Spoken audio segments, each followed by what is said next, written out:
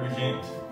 Então, hoje eu quero continuar o assunto que do vídeo anterior em relação a campo harmônico. Então, no vídeo anterior, para quem não viu, falei um pouco sobre campo harmônico maior, natural e menor natural.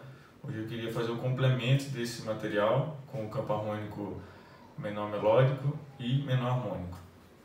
Só para entendermos melhor, uma dica que eu dou é você realmente revisar e entender o campo harmônico menor natural pois dele você consegue também fazer a derivação dos outros campos em relação ao menor natural e menor harmônico. Então, um primeiro passo, como eu falei no outro vídeo também, é você fazer a estrutura intervalar da escala desse, eh, dele, né, do menor harmônico ou do menor melódico. Então, do menor harmônico, a diferença entre ele e o menor natural é apenas o sétimo grau, que no menor harmônico tem um sétimo grau maior, e no menor melódico além do sétimo grau maior semelhante à menor harmônica, eu tenho também o sexto grau maior. Então, pensando na estrutura intervalada da escala, no, na, na estrutura do campo harmônico menor, é, menor harmônico, desculpa, nós temos tônica segunda maior, terça menor, quarta justa, quinta justa, sexta menor e sétima maior.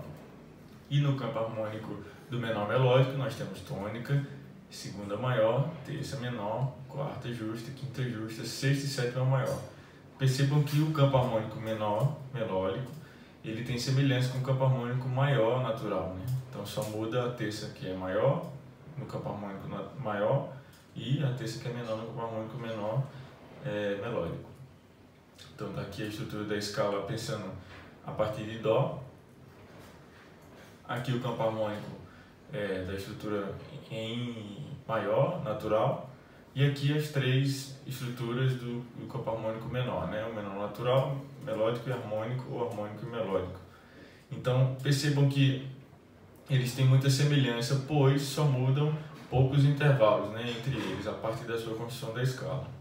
Então, se observarmos o campo harmônico menor natural, por exemplo, o menor harmônico e melódico, por terem um intervalo de sétima maior, na construção do seu primeiro acorde, do acorde fundamental de primeiro grau, a diferença entre eles é que a sétima vai ser maior ao invés de ser menor, como no campo harmônico natural. E daí vai seguindo. A diferença agora entre o segundo grau, é, no menor natural e menor harmônico, eles são acordes diminutos. Já no menor melódico, ele é um acorde menor que o sétimo. Então, terceiro grau volta de novo o menor harmônico a ser semelhante ao menor melódico, terceiro grau maior, quinto aumentado e sétima maior.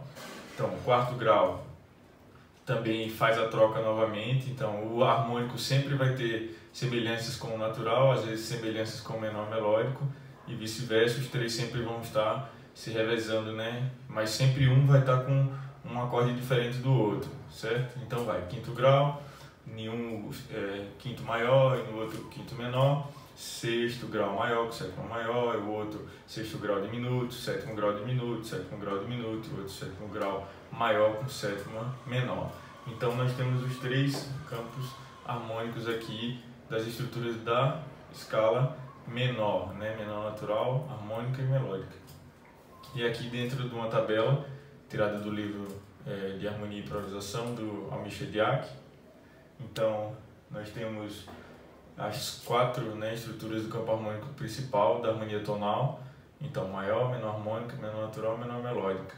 Então, o segredo é, está em entender esses graus né, como fórmulas, para daí você aplicar todos esses graus em qualquer uma das tonalidades. Né? Se você escolhe, por exemplo, Sol maior, então na escala maior, na função harmônica da tonalidade maior, ficaria Sol maior com sétima maior, Lá menor com sétima, Si menor com sétima e daí para os outros também, menor harmônica, Sol menor com sétima maior, na menor natural já seria Sol menor com sétima, e na menor melódica também seria Sol menor com sétima maior. E daí você construiria a partir de cada nota da escala como graus, em cima das suas funções.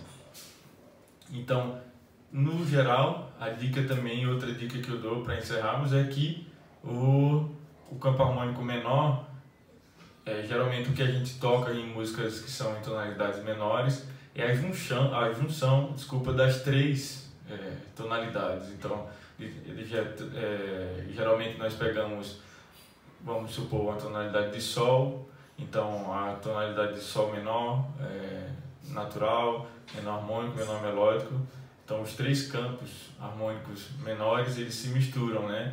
E se revezam na construção do campo harmônico daquela tonalidade. Então geralmente nós temos sol menor, geralmente quarto grau, um dó menor e o quinto grau um quinto grau maior. Então esse quinto grau maior já não faz parte do menor natural, que nem partiu a princípio os seus primeiros acordes.